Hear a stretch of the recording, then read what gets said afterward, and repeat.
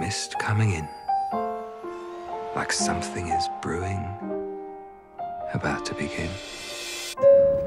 Ladies and gentlemen, we are beginning our descent into Los Angeles.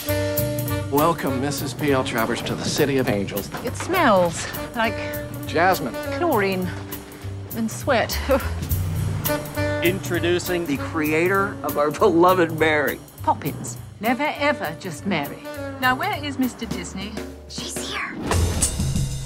Well, Pamela Travers, you can't imagine how excited I am to finally meet you. Would you mind? My name is Mrs. Travers, Mr. Disney. Oh, Walt, now you gotta call me Walt.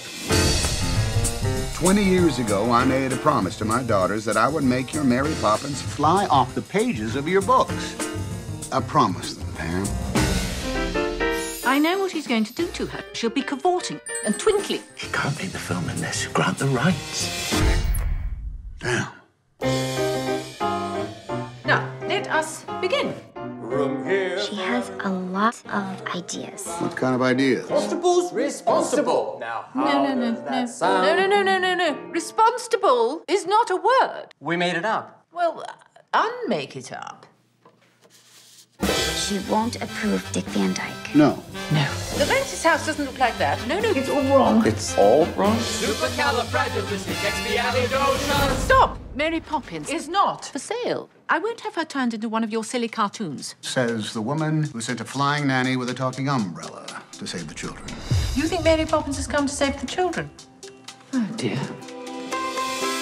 Mrs. Travers, what am I missing here? I'm wondering what I have to do to make you happy.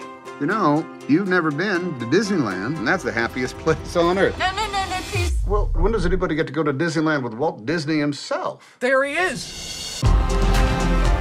Where did she come from? Mary Poppins and the Bankses. They're family to me. Mary Poppins was a real person? So it's not the children she comes to save. It's their father. It's your father. You don't know what she means to me. I won't disappoint you. I swear every time a person walks into a movie house, they will rejoice.